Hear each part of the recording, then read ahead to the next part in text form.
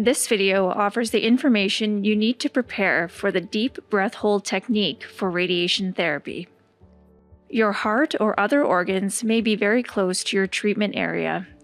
A deep breath hold lets your lungs fill with air and moves your heart or other organs away from the treatment area. This helps reduce the amount of radiation dose your heart or other organs receive. Here are the steps for practicing the deep breath hold.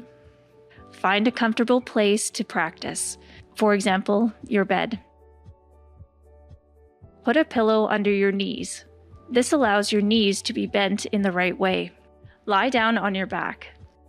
Raise both arms up above your head. Put a pillow under your arms if this position is not comfortable for you. Exhale completely. Take a slow, deep breath in and hold it for the time you and your team decided at your simulation appointment. You should feel your abdomen move up towards your chest. Breathe out. Breathe normally.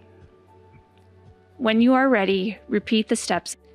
When you practice deep breath hold, it is important to relax your muscles as much as possible. Do not arch or bend your back Breathe normally after each breath hold. Try to take in the same amount of air with each breath hold. Practice two to three times a day. Keep practicing the deep breath hold until you begin your treatments. When you come for your treatment, we will help you to relax and feel as comfortable as possible.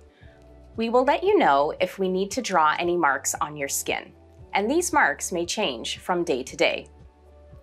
They help us position you in the right way for treatment. We will tell you when to hold your breath and when to breathe normally.